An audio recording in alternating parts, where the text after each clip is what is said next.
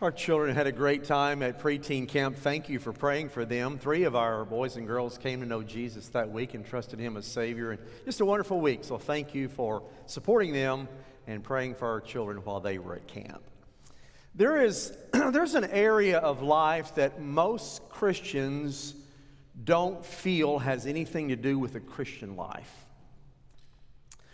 And, and, and they don't feel like there's a, a connection between the two. And here's what the connection is they feel like there's a disconnect between this and this. They don't think it relates. And so most Christians feel like, well, you know, money is secular and, and a necessary evil and it's worldly. God isn't interested in it. Now, the spiritual life, that's different. That's faith and prayer and heaven, and that's what God's interested in. So they believe there's a disconnect between our finances and the Christian life. So a lot of them feel like, well, I, I know I should give money to the church and give to God every now and then to help out the church. But the bottom line is, God really doesn't care how much I give, He doesn't care how I spend the rest of my money, and He's more concerned with greater things like my soul. Boy, are they wrong. Because there is a vital connection between, between this and God for a Christian. In fact, this is a, is a mirror into this. More than 2,000 times in the Bible, money and possessions are talked about. 2,000. Prayer is mentioned about 500 times. in fact, money is talked about five times more than prayer and faith combined. That's incredible. Jesus spoke 38 parables in the New Testament, 16 of them. 16 out of 38 had to do with money or possessions. That's almost one half.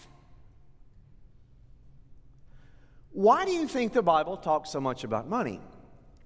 I believe it's because God knew it would be a struggle for us. So he talked about it. Now, I know a lot of people say, well, Pastor, you, you can't really talk about money on Sunday morning, people don't want to hear it. And, and you know, they don't want to hear about tithing and all of that. They, they get angry, and, and if we have guests here, they're, they're not going to come back. But, folks, if the Bible talks about it 2,000 times, I would be wrong not to talk about it. I don't talk about it much. But there are things I think we need to address from what it says. Now, we're going through a five week sermon series on Proverbs, the book of Proverbs, and, and one theme per Sunday we're looking at and we looked at the concept of chokmah, C H O K M A H. It's a Hebrew word that means wisdom. It recurs over and over over throughout the book of Proverbs. The English is closer to the word skill. Chokmah in the Hebrew culture, back in Scripture, and even today, is a revered word. In fact, I found out, so it, it, also in Arabic, I found out last week that in Arabic, the, the, the the uh, brother of that word is called hekmah, same concept. And in Arabic, I don't know if it's this way in Hebrew or not, but in Arabic, the average person can't even say the word. Uh, uh, it takes a wise old sage to even speak the word. So it's a concept that's highly revered. And what the concept in Hebrew is, the concept is there is a design to life as to how you build your life. It's not just you do you and God's going to bless you. It's a concept that you take your life and you fit it into the design God has for you, and that is the life that's best lived. Is there, there's a design God has for life. And whenever you fit into that design, life is lived better. Now, this morning, if there's never been a time in your life that you've received Christ as Savior, you've prayed to receive Jesus into your heart and life, submitted your life to Him, then that's the first step in Chokmah, living a better life, is being a Christian. But this morning, if you're not a Christian, what I'm about to say about giving does not apply to you. God never asked unbelievers to give a penny. So if you're lost this morning, never received Christ as Savior, this message is not for you. You don't have to give a dime when you're here.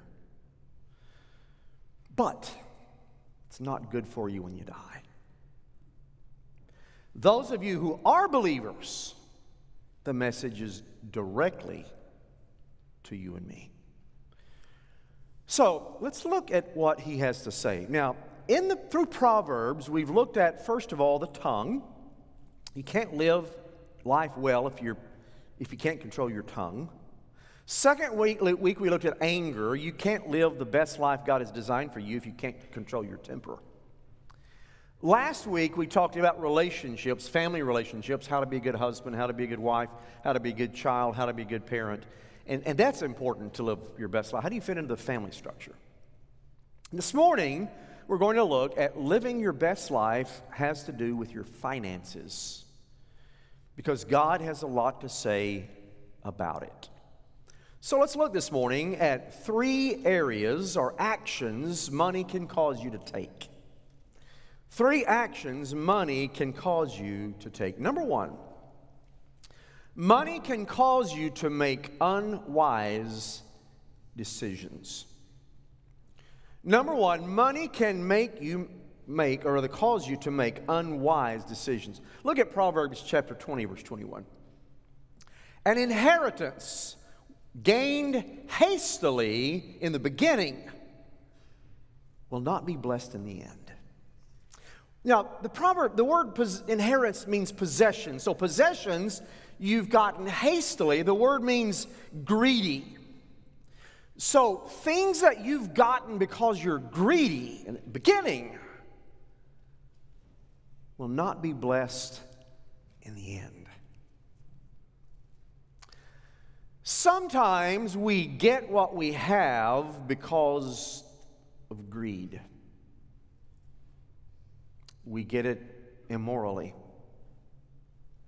We get it by cutting corners ethically. And that's not going to be blessed. Sometimes we make unwise decisions in getting money. God said, I'll not bless that. Now, as you look at Scripture, money is actually neutral. It's neither good nor bad. A lot of people think, oh, money's, money's evil. Bible says money's evil. No, no. It says the love of money is the root of all evil. Money itself is neutral. It's what you do with it. If you look at the Old Testament, some of the godliest men were some of the wealthiest men of their day. Abraham. He's a wealthy man, but he believed God and was counted for righteousness. Job was a wealthy man, but a godly man. Joseph, a wealthy man, but a godly man. David, a man after God's own heart, a wealthy man. Solomon, wealth so much that people travel from other countries to come look at it. Was a godly man. So some of the wealthiest were some of the godliest. So money's neutral. But it can cause you to make some unwise decisions. Look at Proverbs 22, verses 1 and 2. A good name is to be chosen rather than great riches, and favor is better than silver or gold. The rich and the poor meet together. The Lord is the maker of them all. Keep your good name, keep integrity, make wise, ethical decisions in getting money. I was pastoring my first church. I was outside of Greenville. And I'd been there a couple of years, and another church, a large church, contacted me. What I did, I was interested in coming as pastor. And my pay increase went a lot. And I was talking to a close friend of mine, and I was telling them about this, and they said, Well, you got to take the church. It's, I mean, it's more money. Is that how we think? If it's more money, I've got to do it. No, I didn't go. I turned down the church because sometimes if you make decisions based only on money, you make the wrong choice.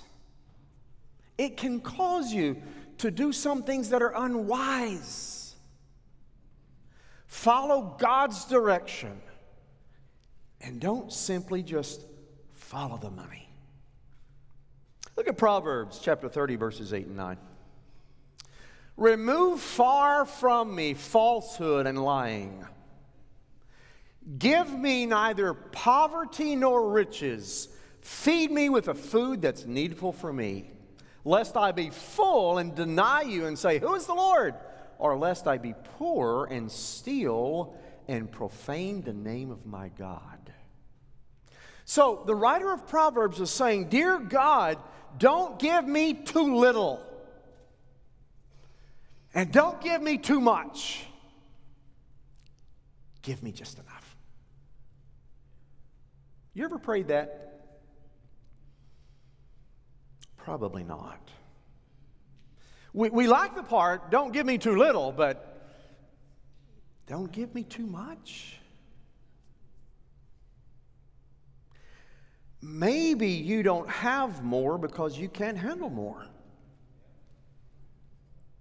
Maybe if you had more, you would forsake the Lord. I've seen people do it. If you aren't faithful with what you have, why would God give you more?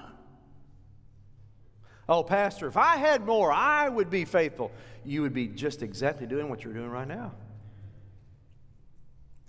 And so the writer of Proverbs says, Be careful. Money can cause you to make some unwise decisions, cost you your family, cost you your spiritual life, cost you peace of mind cost you being in God's will.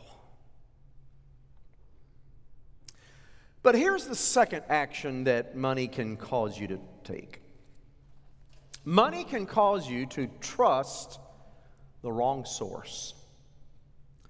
Money can cause you to trust the wrong source. Look at Proverbs 11 28. He, or rather, whoever trusts in his riches will fall but the righteous will flourish like a green leaf.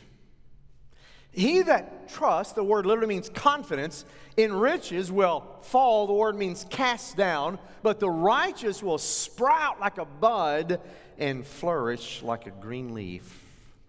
So many people trust their wealth. They trust their assets, they trust their bank account, their 401k, their retirement to give them peace of mind, to give them security. But, folks, the stock market can crash. You can lose your assets. How many times have we seen when the stock market goes down and crashes and people lose thousands and millions, sometimes billions? They commit suicide over it. You remember those stories? The last one, a man lost billions, young man in his 30s, lost billions, jumped out of a, of a hotel window in New York and killed himself. That's trusting the wrong source. Because everything you have can be gone, it can be taken. We are to trust with all of our hearts and lean not to our own understanding the Lord. Look at Proverbs 28 25. A greedy man stirs up strife, but the one who trusts in the Lord will be enriched. Somebody who's always interested in, in money, there are things always being stirred up. Whenever you place your confidence in possessions, Something's always stirring in your heart. Have I got enough? Is it in the right account? Am I getting the right interest rate? Should I be investing in something else? Should I do something else? It's always keeping you stirred up. But those that trust in the Lord, he said, they're enriched. Now, we think it's the opposite. We think, well, if you trust in, in possessions, that will bring you peace. If my bank account's good, if my, stock, my stocks are good, if everything's good, if I'm feeling good about retirement, whoo, that brings me peace. Now, trust in the Lord. He sometimes he does acts, sometimes he doesn't, and that, that's what is uncertain. We think it's the opposite of what the proverb just said. It's not. Trusting in God is your peace, your enrichment. Trusting in what you have, strife is always stirred up. More than 60 proverbs are about money. 60. Here are some of the topics that are covered in Proverbs. How you make your money, co signing for a loan, should you do that or should you not, bribes, taking bribes is covered, greed is covered, prosperity is covered, your inheritance you leave for your kids, that's covered, debt is covered, immorality is covered, deception is covered. The Proverbs talk a lot about all of these. There are many ways to trust in money over trusting God. So be careful. So I'll ask you a question Who do you trust the most? God or what you have? Now, I know the church answers God. Everybody go, oh, Pastor, God. But be honest. What do you trust the most?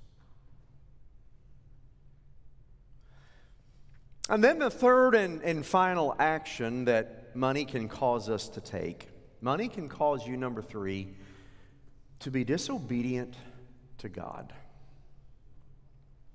Money can cause you to be disobedient to God. The Bible is very clear the Bible is very clear on what you give to God, how much you give, how often you give.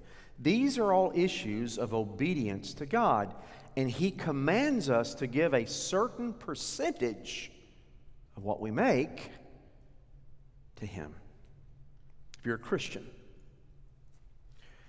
now, you may say, well, Pastor, how do you know all of us aren't doing that? Well, one sign is that this summer here at First Baptist Church, our attendance is up and our giving's down. That's one sign. In fact, we are giving $120,000 less this summer than we gave last summer. But more of you are here. So that I guess that's one sign. I want you to listen to what Proverbs 3 says. It's a fascinating passage, verses 9 and 10. Look at it. Honor the Lord with your wealth and with the first fruits of all your produce. Then your barns will be filled with plenty, and your vats will be bursting with wine. I want you to notice what he said there. Honor the Lord. The, the word honor is kavod. It's a popular Hebrew word. It means heavy. Heavy down the Lord with your substance, your wealth, your riches, the things you have. And with the first fruits, that's the beginning. The word means beginnings, it means choice part of all of your increase, the yield so shall your barns. God makes a promise. You do that, your barns, your storehouse will be filled full with plenty, and your possessions will burst with new wine. That's his promise. So the interpretation is really simple. We're to give God of our riches, of what we're paid, first, the beginning, as soon as we get it. Of all that we get, that's called the tithe. The word tithe means tenth, One tenth, that's the command. And then God's promise is what you have will be plenty left over. Let me summarize verses 9 and 10. God said, if you honor me with the first 10%, the first fruits, I will stretch the other 90%. You'll do fine. You'll do fine. That's a principle not from the pastor, but from God. Now, go back to the Old Testament. God's people, the Israelites, here, here are the commands God gave them concerning the tithe 10%. Here's what He told them. First of all, He said, everybody gives the tithe. Everybody, no exceptions. Little kids, teenagers, everybody, no exceptions. If you're my child, you bring the tithe, 10%. 10% of your fruit, of your cattle, of your sheep, of your grain. That's what they had to live on. Everything you have to live on, 10%, first 10%, you bring it. Everybody, no exceptions. Then he said, it's mandatory, it's not optional. It's not giving as you feel, it's mandatory. In fact, the wording he used in Hebrew is the same wording of giving taxes. Now, we don't like to think of giving to God like giving to the government. We don't like to think of giving our tithes as giving taxes. But God used the same terminology to the Israelites. Well, as time went on, the Israelites took these commands and they, um, they began to relax them. They didn't give the full tithe. They would give not 10%, they would give maybe 5%. And then they'd give about 3%. And then they give about 2%. By the way, the average Christian gives 2%. Give about 2%. And so by the time of Malachi, God sent a prophet named Malachi, and here's what he told him, chapter 3, verse 10. Look on your screen. Malachi 3:10. He told them, Bring the full tithe into the storehouse. That was the church the temple, that there may be food in my house, and thereby put me to the test, says the Lord of hosts. If I will not open the windows of heaven for you and pour down for you a blessing until there's no more need. That's the same thing Proverbs said. You bring the full tithe, I'll provide for you. Now, you may say, well, Pastor, we're, we're not in the Old Testament anymore, we're in the New Testament. We're not under law, we're under grace because of Christ. And you're right. So I have often heard tithing is Old Testament, it's not New Testament. So therefore, we're not to tithe anymore. We just give what we want. But hold on. Matthew 23 23 is in the New Testament. Look at what Jesus said. Woe to you, scribes and Pharisees, hypocrites! You tithe mint and dill and cumin, those spices out of your cabinet, and you've neglected the weightier matters of the law, justice and mercy and faithfulness. But don't miss the last sentence. These you ought to have done, justice, mercy, and faithfulness, without neglecting the others. Hold, hold on a second. Did he just say you're to keep tithing? I think he did. Those Pharisees were so meticulous. They gave money, they, gave, they even gave the spices out of their kitchen cabinet. And God's saying, You're so particular about those tithes, but you hate people. You need to be focusing on the weightier matters of the law. But hold on, don't neglect the tithing. And that's New Testament. Plus, think about this.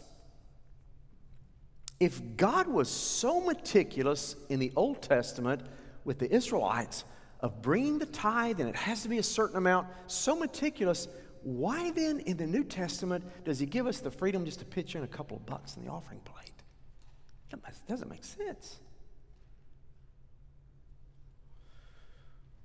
Grace in the New Testament is not less than law. In fact, it's greater than law. Because Jesus was talking about the law, and he says, You have heard it said, but I say to you, and whatever was said, he raised the bar. So, if anything, grace giving ought to be more than the Old Testament. So, it's very much a command for us. Now, let me share some, some principles, what Scripture talks about concerning the tithe for a moment. The word tithe, of course, means 10%. 10% of everything I get, any kind of check I get for doing anything, 10% of it is God's, it's not mine. So I, I give it to the church, 10%. An offering is anything above the 10%. There's no set amount for that. It could be a dollar, it could be $10, it could be a million dollars. The offering's up to you. But the tithe is set. That's the 10% that we bring to God. We give that 10% at the beginning of our paycheck, not after all the bills are paid. I've often heard people say, Pastor, I just, I get all my bills paid because I feel like I have a responsibility to them first, and then what's left over, I don't have 10% left over. That's because you give 10% to God first. And He takes the other 90% and blesses it. And it works. Not only that, the tithe must be paid consistently. Sometimes we, we're hit and miss with it. We pay it one time and then we don't the next pay period, and we pay it another time and we miss two or three pay periods, and then we pay it one time and we keep missing, and we're just kind of hit and miss with it. But it is to be paid, according to God from the Old Testament, every single time we gain something. 10% goes to Him. Sometimes we hear, you hear a message like this, and our giving goes up for a week or two and then it goes down. But it's to be consistent. Consistently giving God what He has required. And everybody's to tithe. Not just the wealthy, not just the older, everybody. If you're a Christian. At First Baptist Church, most of our giving comes from the first service not the service. Most of it comes from people 55 and older because they've been taught to tithe. But it's not just on them, it's all of us. In fact, if you, if you think about it, we have a built in excuse our entire life never to tithe.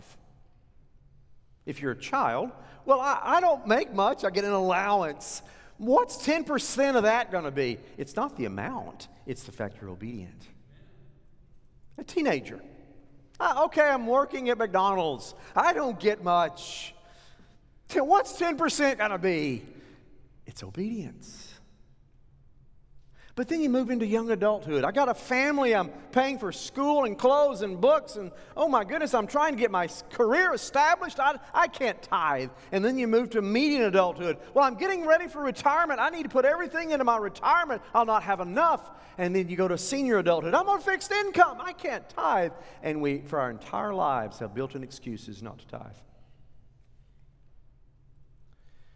But the bottom line is either we do or we don't. And I have trouble believing that God would say, I'm sorry, you gave 10% to me, you should have kept it, you're going to starve. You're faithful to Him, He'll be faithful to you. And did you notice that the tithe is brought to the storehouse? The storehouse was what was beside the temple that took care of the temple's needs. So we're to bring the tithe to God's house not to a friend who needs it, not to a family member who needs a little helping. We bring it to God's house. Now, I, will be honest with you, I used, to, I used to do that. I was guilty of that. When I first went into ministry, I, I would take the tithe, 10% of what I had, and if I saw somebody who had a need, I'd give it to them. Or another, another pastor I helped many times in a small church, and And so I, I helped him, and that was my tithe. And God convicted me through this passage you don't take my money and do something else with it. You want to help them, help them with your money. My money goes to the storehouse. That's where I said to bring it. So I started bringing it to the church house. Whether the church needed it or not was immaterial. Whether we were over budget or under budget was immaterial. I brought it because God told me to do it as obedience to my family and me. We still do, hadn't stopped. So it is brought to the storehouse. You wouldn't take your $400 electric bill this summer, maybe more than that now, all this holidays it is. But you wouldn't take your $400 electric bill instead of giving it to the electric company, give it to a family member because they're struggling, would you? Electric company call you, uh, you haven't paid your bill. Oh, sure I have. I, I gave it to my friend who's hard. They, they need it worse than you do. That wouldn't go with electric company, would it? It doesn't with God either. So bring it to the storehouse. You may say, well, Pastor, if, if I gave actually 10% of what I make, do you know how much money that would be? I got a simple solution. Go to your closet, get on your knees, and say, Dear God, would you please reduce my income so my tithe check doesn't look so big? Simple.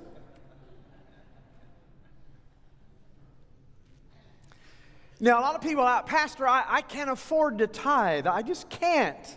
I don't have enough. But we have monthly subscriptions to Netflix and Hulu and Spotify and SiriusXM and Amazon Prime and iHeartRadio and Apple TV and Disney and Beauty Fix and Sling and YouTube TV and Apple Music and Lifetime Fitness and Allure Beauty Box and Stitch Fix and Trade Coffee and Atlas Coffee Club and Ipsy and you name it. We pay those consistently. I don't have enough money to tithe. God's not fooled. He, he's no fool. He watches. He knows. So, just to be honest, this church should never lack any resources, ever. If 100% of us give God what simply what he commanded, we'd have plenty to do ministry that He's called us to. And my prayer every single day is 100% of our members, 100% of the members of our church tithe. For two reasons it's obedience, number one, but we would have plenty in ministry to do what God's called us to do. I get the same amount no matter how much we take in, I don't get more.